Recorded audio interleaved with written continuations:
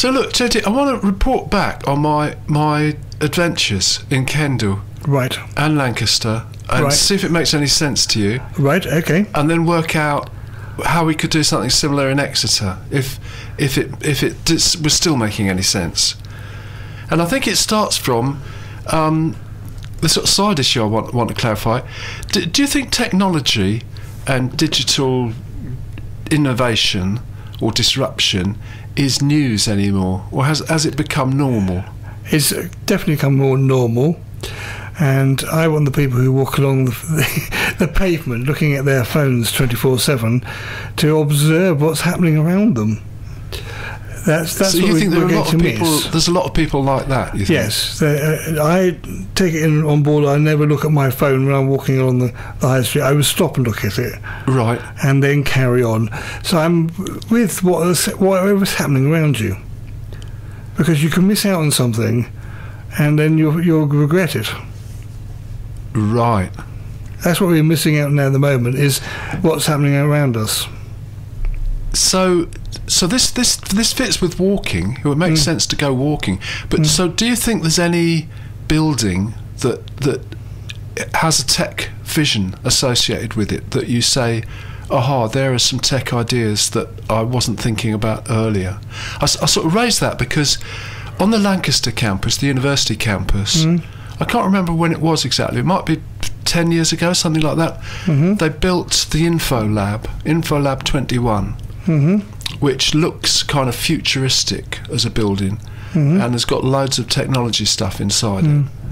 And um, that that made made an impact because you could see it from outside. Mm. Um, all the other buildings are surrounded by trees, but that one you could see from the motorway.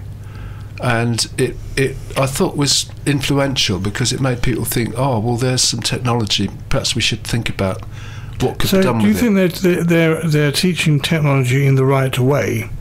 Do you think it's technology to Well, who knows help what the who knows what the right development is of the world, or Um, to just to hinder us in in, in our in our goal to get from A to B?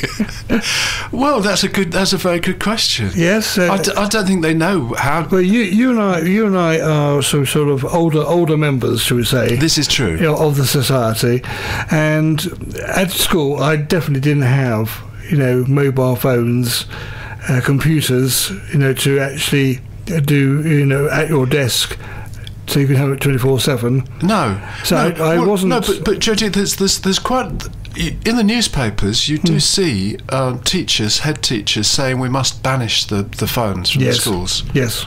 Um, whereas there's other people saying, well, the MOOC is is quite wonderful, and we Hmm. should have more use of devices to to support education. Well, we can we can say we can ban them, but what are you going to replace them with? That's the whole thing, because society well, of today is uh, children of today, shall say, are latched onto it straight away, and they they can't do without it. Well, yeah. When I when I read these opinions in newspapers, I Hmm. do sometimes think, aha, Mm-hmm. these people want to maintain the newspaper and the paperback Well. I used to read a newspaper, but. I've disbelieved newspapers altogether now, Ah, and including news on, on television or whatever, or on the radio or whatever. I just don't listen to it anymore. no. Well, that's another problem. Look, Hmm. can I just take you back a bit? Yep. Because it's uh, one of the things which has occurred to me while I've been trying to think this through is that actually the, the, there are no dramatic buildings with a technology impact.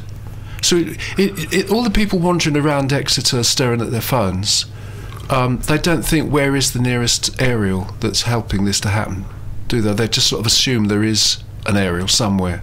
Do you think that way of life is changing because we now have it in our pockets? That we don't need, a, you know, an, a building with technology in it, or are you thinking of uh, information to help you through the technology? Well, I'm thinking really about how the how the, for example, in education, how the people who decide about education Mm. work out how to spend their money, what to invest in. Mm. Because it sort of started. My my thought was if you if you have a, a walk on the Lancaster campus, because they Mm. now have a spine, it's a very very dramatic sequence of architecture. Mm-hmm. So it's a very good video background, Mm-hmm. and you could use that uh, to link together conversations as a sort of chat show, or showing off bits and pieces that you borrowed from somewhere else, Mm-hmm. sound clips or video clips, whatever. But if you started at one end with the info lab, and you said, "Well, there's all this wonderful technology, Mm. we must take full advantage of it," and went into online Mm. learning and all these kinds of things.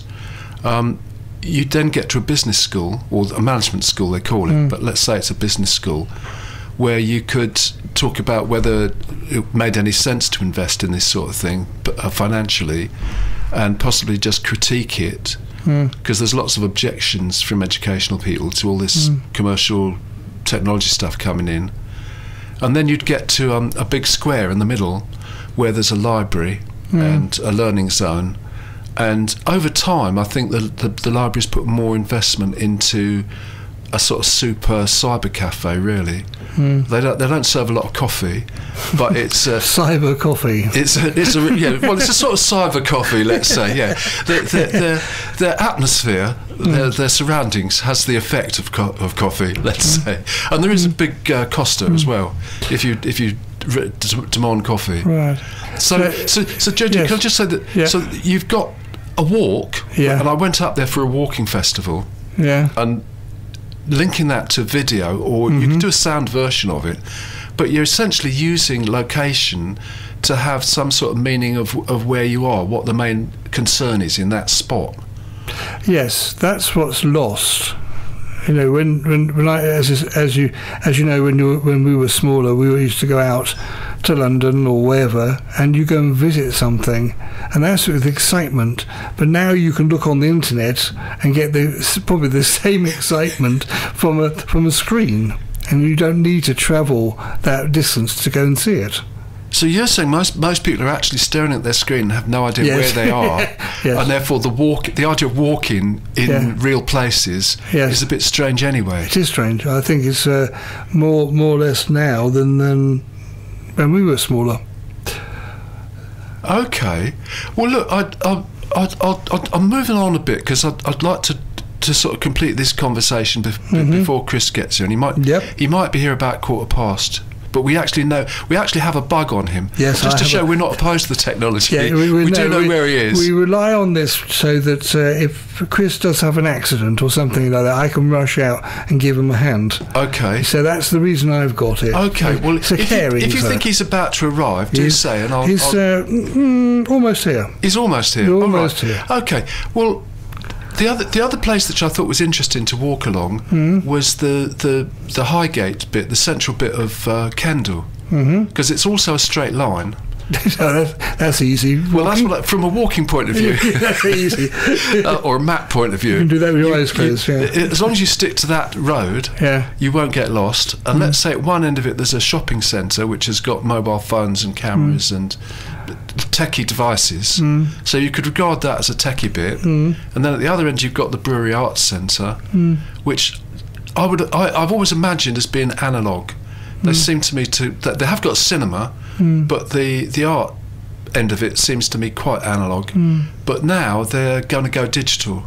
So I think you'd have to do a sort of historical um, show there, but just to get a bit of contrast into the into the space. But I think you could you could have it. You could sort of try and go back.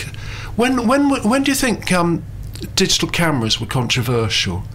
There, there was a point where, where people said, "Well, they- they'll never work. Well, I they'll don't never know, get." I've, I've, I've never had one. I've never had a digital camera before. Well, you've got a phone.